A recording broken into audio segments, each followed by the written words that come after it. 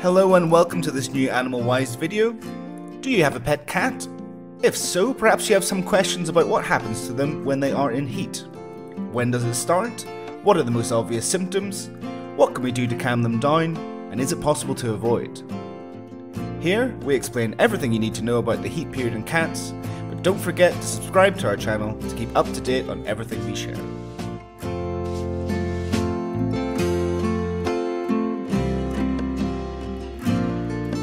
While it's not exactly the same biological process, both male and female cats go into heat periods. With female cats, however, the process is much more evident. Female cats go into heat around 6 to 9 months of age. Surprisingly, short haired female cats tend to go into heat earlier than their long haired counterparts. They often delay their first heat period until around 15 months of age. Male cats have their first heat period later than females, at around 8 to 12 months of age.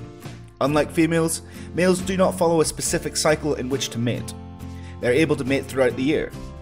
Males begin when they smell the pheromones given off by females, or when they hear their vocalized calls.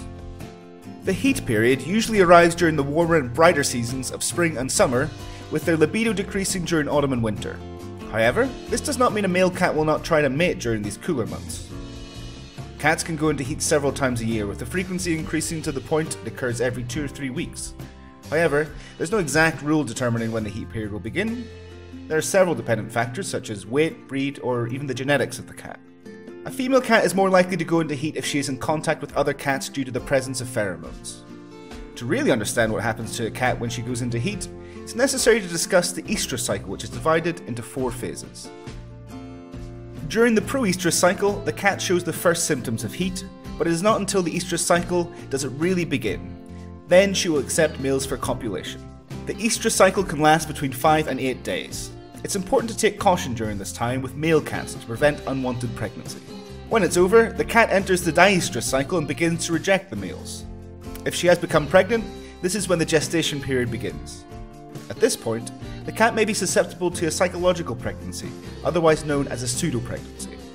After a few days, they will enter the anestrus cycle, which is a period of sexual inactivity lasting between 50 and 95 days. To know if a female cat is in heat, we must pay attention to her behaviour. Unlike female dogs, cats don't lose blood when they're in heat. They do yarl desperately and continuously, somewhat resembling a baby's cry. They also begin to rub up against objects and people, showing their bellies and being visibly upset. Cats in heat often have a particularly affectionate behaviour and adopt specific poses as a way to attract potential males.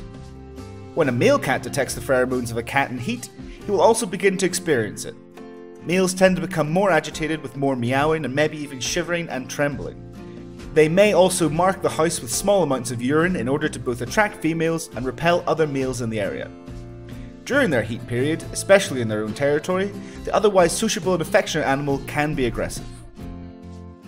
It is important to pay attention to a cat when they're in heat. During this time, they will need more love and care.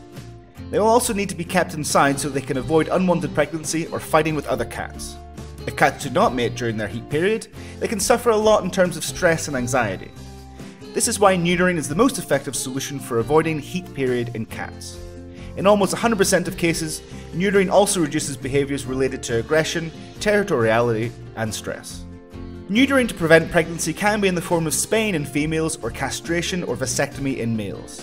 However, vasectomies only prevent pregnancy. They do not stop the heat period and its related behaviours. There are also drugs which can perform chemical sterilisation of the animal.